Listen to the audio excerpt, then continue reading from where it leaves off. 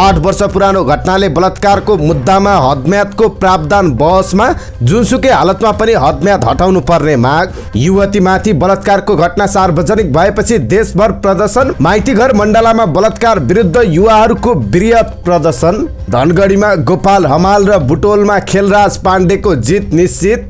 काठमाडौँको करिब आधा मतगणना सकियो। जिततर्फ लम्किँदै बालेन शाह अब अरू प्रतिस्पर्धीले जित्ने सम्भावना अत्यन्तै न्यून। एक महानगरसहित छ सय तिरासी पालिकाको मतपरिणाम सार्वजनिक। कुन दलले कति जिते यो सम्बन्धी सम्पूर्ण जानकारी। दोटीमा बस दुर्घटना हुँदा अठार महिने बालक बेपत्ता। स्थानीय निर्वाचनमा सोचे जस्तो सफल हुन नसकेको एमाले महासचिव ईश्वर पोखरेलको स्वीकारोक्ति कैलालीको लम्कीचुवामा मेयर र उपमेयर दुवै पदमा महिला विजयी कैलालीको जानकी गाउँपालिकामा रेशम चौधरी समर्थित नागरिक उन्मुक्ति पार्टी विजयी विराटनगरको मेयरमा नागेश र उपमेयरमा शिल्पा विजयी र युक्रेनको मारियोपोल सहर कब्जा गरेको रुसको घोषणा सैनिकलाई ठाउँ छोडी ज्यान बचाउन जेलेक्स्कीले दिए अनुमति। नमस्कार इन्सा नेपाल न्युज टिभीमा यहाँहरू सम्पूर्णलाई हार्दिक स्वागत छ। म सुजन पौडेल। आजको न्युज अपडेट सुरुवात गरौँ। माइतीघर मण्डलामा बलात्कार विरुद्ध युवाहरूको प्रदर्शनको प्रसङ्गबाट। काठमाडौँको माइतीघर मण्डलामा बलात्कार विरुद्ध युवाहरूले प्रदर्शन गरेका छन्। एक युवतीले सामाजिक सञ्जालमा सौन्दर्य प्रतियोगिताको नाममा आफूमाथि बलात्कार भएको खुलासा गरेपछि युवाहरू बलात्कारलाई कारवाही गर्न माग गर्दै प्रदर्शनमा उत्रिएका छन्। भिडियोमा आफू सोह्र वर्षको हुँदा आजभन्दा आठ वर्ष अघि काठमाडौँको एक होटलमा कार्यक्रम आयोजकले बेहोस हुने पेय पदार्थ खुवाएर बलात्कार गरेको बताएकी थिइन्। प्रदर्शनकारीहरूले महिला शरीरको वस्तुकरण बन्द गर enough is enough will not tolerant anymore पुँजीवादी प्रीतिसत्ता मुर्दाबाद लगायतका प्लेकार्ड बोकेर प्रदर्शन गरेका छन्। यसअघि शुक्रबार युवाहरूले बालुवाटार स्थित प्रधानमन्त्री निवास अगाडि प्रदर्शन गरेका थिए। उक्त घटनाबारे छानबिन गर्न शुक्रबार नै समिति गठन भएको छ। काठमाडौँ उपत्यका अपराध अनुसन्धान कार्यालयका प्रमुख प्रहरी वरिष्ठ उपरीक्षक एसएसपी बसन्त कुँवरको नेतृत्वमा छानबिन समिति गठन भएको हो। गृह मन्त्रालयको निर्देशनपछि शुक्रबार प्रहरी प्रधान कार्यालयले समिति गठन गरेको हो। यो घटना सार्वजनिक भएसँगै बलात्कार मुद्दामा हदम्यादको प्रावधान फेरि बहसमा आएको छ। तिनै युवतीले पहिलो भिडियो श्रृङ्खला सार्वजनिक गरेको अडचालिस घण्टापछि शुक्रबार साँझ पुनः रुँदै अर्को भिडियो सार्वजनिक गरिन्। यो कस्तो नियम हो नेपालको? एक वर्षभित्र रिपोर्ट गरेन भने फाइल नै लिँदैन अरे अदालतले। जबरजस्ती करडी सम्बन्धी कसुरमा उजुरीका लागि एक वर्षसम्म हदम्याद छ भन्ने सुनेपछि विक्षिप्त भएकी उनले हदम्याद नाग्यो भन्दैमा आफू पीडित होइन भन्नै नहुने बताएकी छन्। उनले अगाडि भनेकी छन् कोही ढिला बोल्छन् कोही छिटो बोल्छन्। मलाई अहिले बल्ल थाहा भयो एक वर्षसम्म रिपोर्ट नहुँदा फाइल दर्ता भए पनि अदालतले फिर्ता गरिदिन्छ भनेर। उनले रुँदै खिचेको भिडियो सार्वजनिक भएपछि शुक्रबार बलात्कार सम्बन्धी कसुरमा हदम्यादको व्यवस्था हटाउन माग गर्दै युवाहरूको एक समूहले लगातार प्रदर्शन गरिरहेका छन्। संसदमा पनि यो विषयले प्रवेश पाएको छ। सत्तारूढ नेपाली कङ्ग्रेसका महामन्त्री एवं सांसद गगन कुमार थापाले घटनाको छानबिन गरी दोषीलाई कारवाही गर्न निर्देशन दिन भनेका छन्। साथै हदम्याद सम्बन्धी व्यवस्थामा पुनर्विचार गर्नुपर्ने पनि उनले बताएका छन्। सांसदहरूले प्रश्न उठाएपछि सभामुख अग्नि सापकोटाले उक्त घटनाको छानबिन गर्न सरकारलाई रुलिङ गरेका थिए। हदम्यादको बहस। मुलुकी अपराध संहिता दुई हजार चौरात्तरको बलात्कार सम्बन्धी कसुरमा उजुरीका लागि एक वर्ष हदम्याद तोकेको छ। नाबालिकाको हकमा अठार वर्ष उमेर पुगेको एक वर्षभित्र उजुरी दिइसक्नुपर्ने भनिएको छ। घटना भएका बेला पीडित सोह्र वर्षकी थिइन् त्यति बेला नाबालिक नै थिइन्। अहिले उनी चौबिस वर्ष पुगिसकेकी छन् र हदम्याद नायिकाले कानुनी प्रक्रिया जटिल भएको प्रहरीको भनाइ छ। तर अधिकार कर्मी र अभियन्ताले चाहिँ यो घटना सामान्य बलात्कारको घटना मात्र नभएर मानवता विरुद्धकै अपराध भएको बताउँदै यसमा हदम्याद हेर्न नहुने बताइरहेका छन्। अधिवक्ता एवं अधिकार कर्मी शशि बस्नेत कतिपय मुलुकले यस्तो कसुरमा पन्ध्रदेखि बिस वर्षसम्म हदम्याद राखेको बताउँछिन्। कतिपय देशमा हदम्याद नै नराखिएका उदाहरण पनि छन्। नेपालमा आज घटना भयो भने भोलि नै गएर पीडितले जाहेर दिन्छन् भन्ने गरी यो प्रावधान राखिएको छ। उनले भनिन् तर पीडितलाई हेर्ने जुन सामाजिक संरचना छ त्यसले गर्दा पीडित वर्षौंसम्म पनि अपराधबारे बताउन नसक्ने अवस्थामा हुन सक्छन्। समाज पीडित भन्दा पनि पीडकलाई संरक्षण गर्ने खालको भएकाले पनि पीडितलाई तत्काल कानुनी प्रक्रियामा जान समस्या हुने गरेको छ।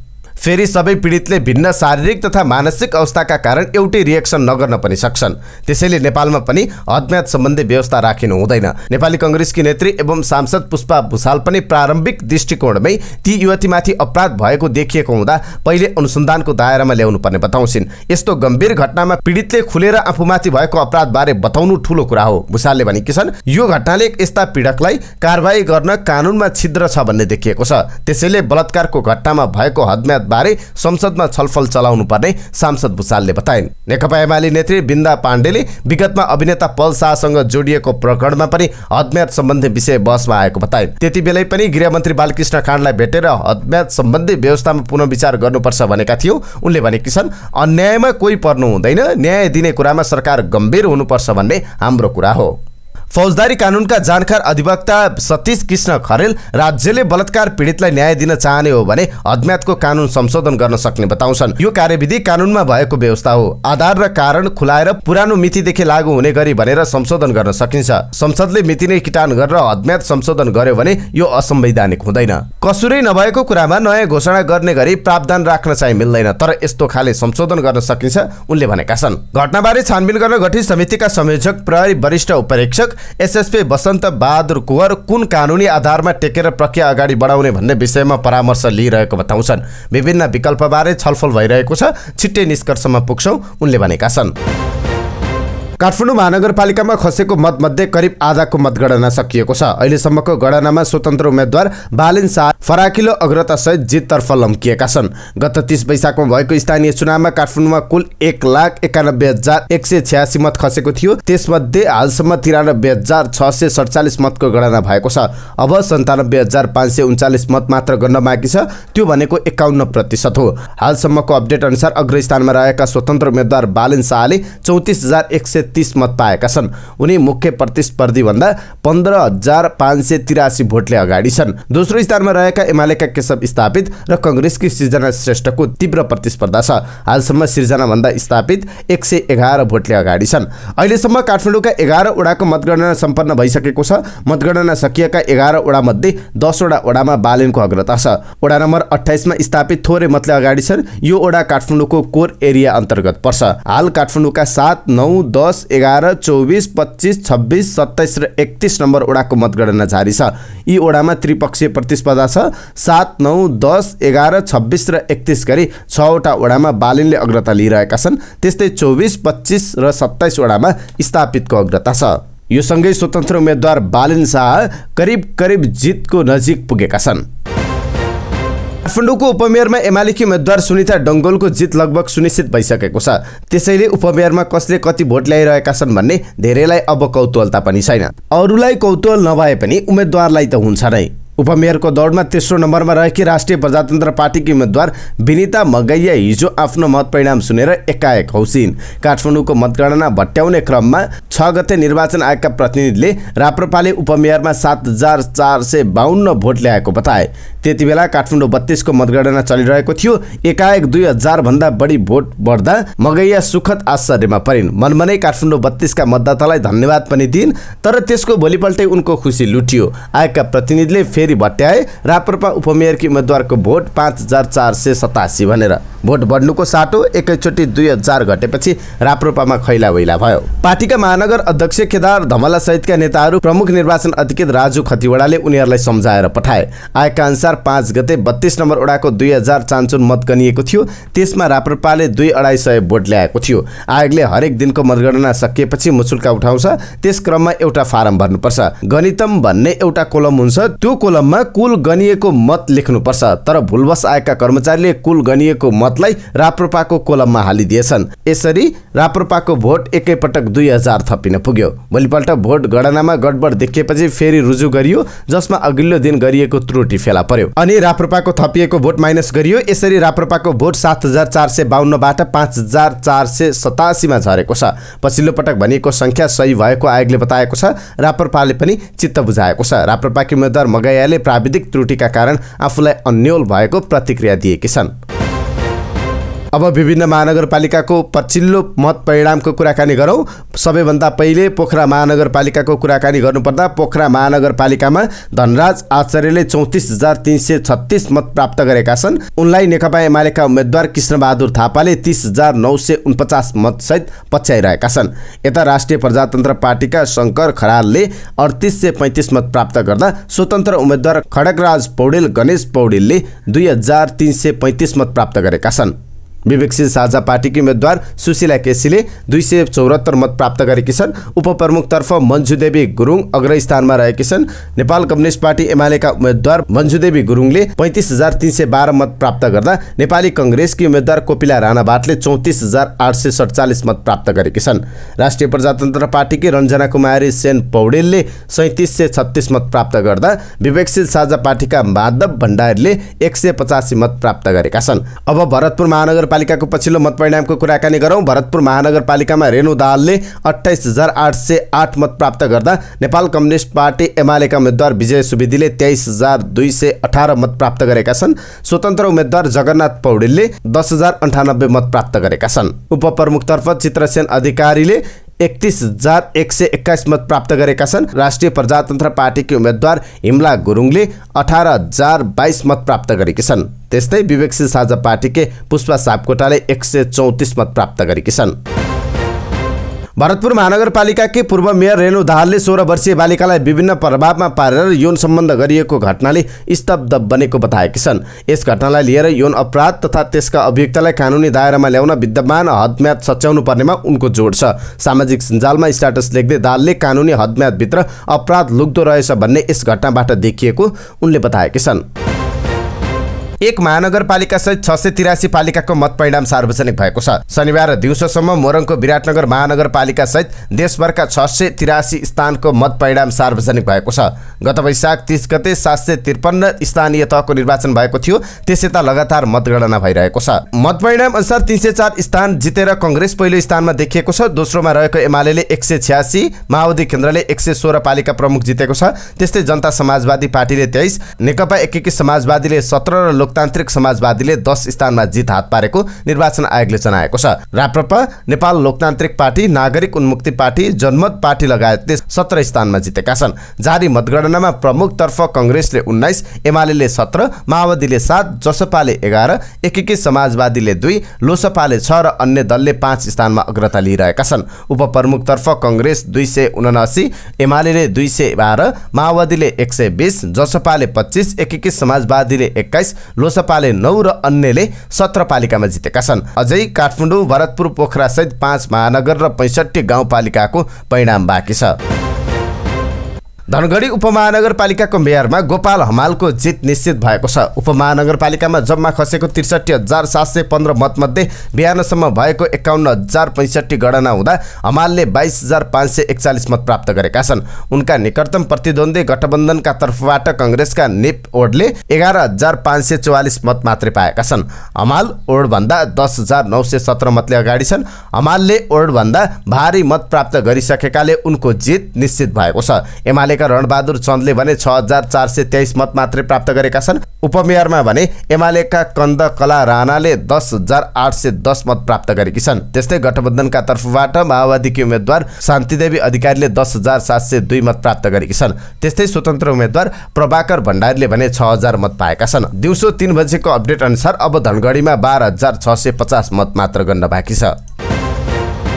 बुटोल उपमहानगरपालिकाको मेयरमा पाँच दलीय गठबन्धनका उम्मेद्वार नेपाली कङ्ग्रेसका खेलराज पाण्डेको जित निश्चित भएको छ। बुटोल वडा नम्बर एघारको पैँतालिस सय मत गर्न बाँकी छँदा खेलराज नेकपा एमालेका उम्मेद्वार बाबुराम भट्टराई भन्दा सात हजार बढी मतले अगाडि रहेकाले पाण्डेको जित निश्चित भएको छ। उपमेयरमा भने नेकपा एमालेकी सावित्रा अर्यालको जित निश्चित भएको छ। गठबन्धनका उम्मेद्वार एकीकृत समाजवादीका चिनबहादुर गुरुङ भन्दा अर्याल छ हजार बढी मतले अगाडि रहेकाले उनको जित निश्चित भएको छ।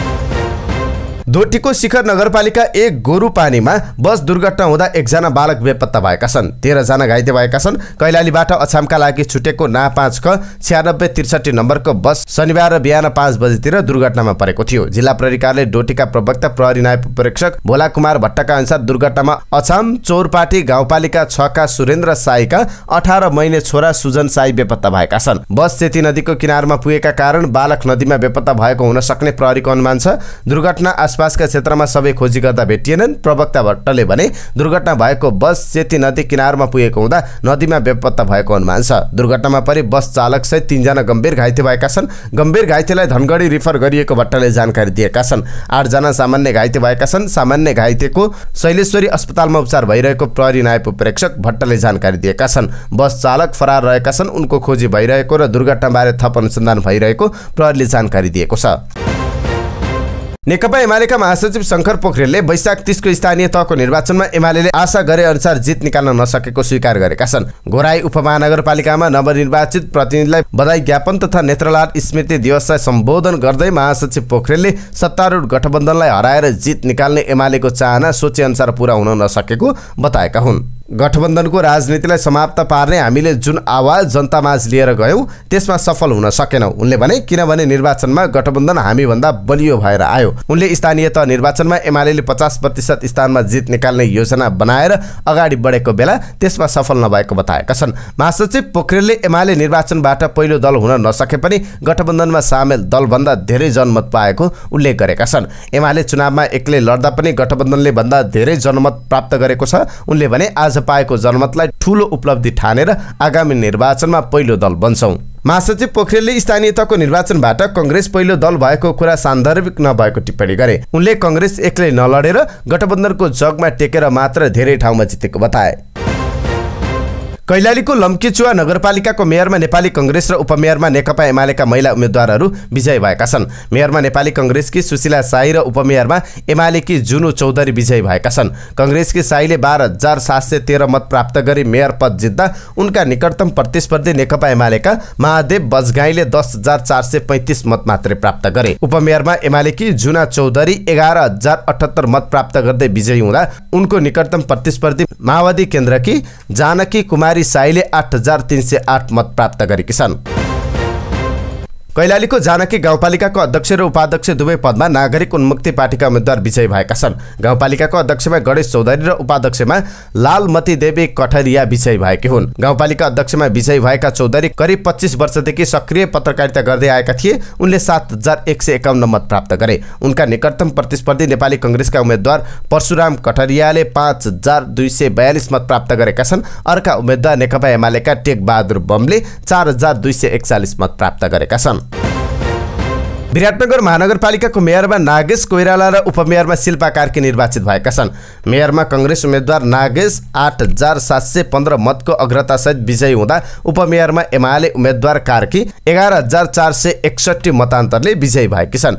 मेयरमा नागेश कोइरालाले तिस हजार एक सय सत्तरी मत प्राप्त गरे एमालेबाट मेयरका उम्मेद्वार सागर थापाले एक्काइस हजार चार सय पचपन्न मत प्राप्त गरे। स्वतन्त्र उम्मेद्वार उमेश यादवले आठ हजार सात सय पन्चानब्बे र रापरपा उम्मेद्वार प्रहलाद शाहले पाँच हजार एक सय सोह्र मत प्राप्त गरेका छन्। उपमेयरमा शिल्पा कार्की पच्चिस हजार छ सय अस्सी मतसहित विजयी हुँदा जसपा उम्मेद्वार अमरेन्द्र यादवले चौध हजार दुई सय उन्नाइस मत प्राप्त गरेका छन्। त्यसै गरी रापरपा उम्मेद्वार बिन्दा लुइटेलले छ हजार चार सय एक र स्वतन्त्र उम्मेद्वार नमिता नेौपानेले पाँच हजार एक सय सत्र मत प्राप्त गरेकी छन्।